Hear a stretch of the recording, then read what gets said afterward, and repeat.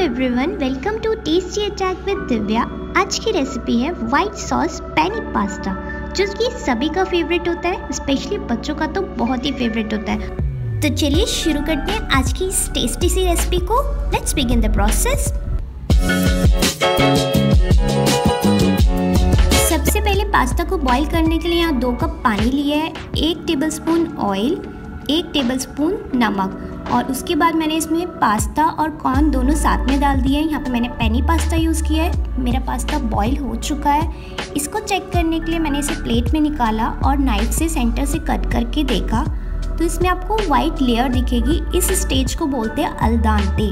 और उसके बाद सेकेंड टिप ये है, आपको फटाफट से इसे रनिंग वाटर में वॉश कर देना है ताकि इसका टेम्परेचर डाउन हो जाए। और अब एक कढ़ाई में मैंने दो टेबलस्पून ऑयल लिया उसमें मैंने लहसुन और अदरक को फाइन चॉप करके डाला है, उसी के साथ एक हरी मिर्च। और इसको हम हल्के से सौते कर लेंगे। जब ये सौते हो जाए, तब मैंने इसमें दो प्याज बहुत ही अच्छे से फाइनली चॉप्ड करके ऐड किए और इसको भी मैं हल्के हल्के सौते कर लूँगी।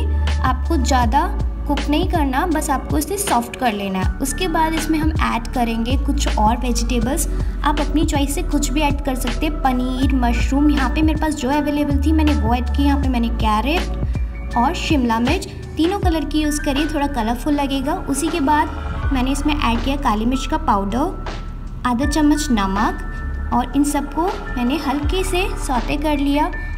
और अब ये सौते हो चुके हैं, इसको मैंने एक प्लेट में अलग कर लिया। अब उसी कढ़ाई में मैंने यहाँ पे बटर ऐड किया है। मैंने डेढ़ चम्मच बटर लिया है तो मैं डेढ़ चम्मच ही मैदा लूँगी। और ये देखिए, एक चम्मच और ये आधी चम्मच और।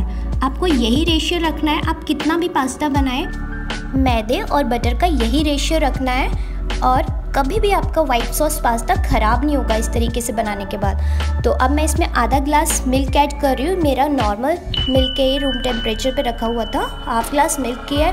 अब इसमें आप देख रहे होंगे कुछ लम्ब पड़ गए हैं। आप चाहे तो इस स्पैटुला की हेल्प से उसे रिमूव कर दें या फिर कोई भी विसर लेके मेरी तरह इसको ईजिली रिमूव कर सकते हैं। तो अब अब ये हो चुका है। इसको टेस्ट करने के लिए मैंने इसमें एक स्पून डाल के देखी। स्पून को कोट कर रहा है तो ये मतलब हमारी सॉस रेडी हो चुकी है।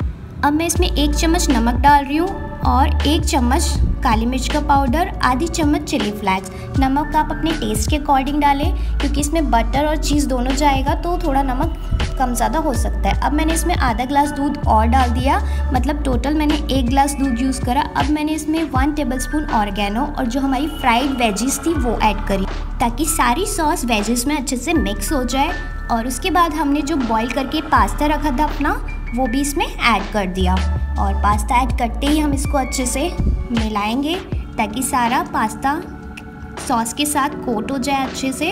और अब मैं इसमें ऐड कर रही हूँ चीज़ वैसे तो अगर आप चाहें तो स्किप भी कर सकते हैं, पर चीज़ से बहुत ही अच्छा फ्लेवर आएगा। यहाँ पे मैंने चीज़ स्लाइस यूज़ करा, आप कोई भी चीज़ यूज़ कर सकते हैं। इसको अच्छे से मिक्स करेंगे। उसके बाद मैंने इसमें ऐड की है मिक्स हर्ब ये आपको ईजिली कहीं भी मिल जाएगी किसी भी शॉप पर। और उसके बाद इसको क्विक स्टर करेंगे और तो बस ये तैयार है सर्विंग के लिए।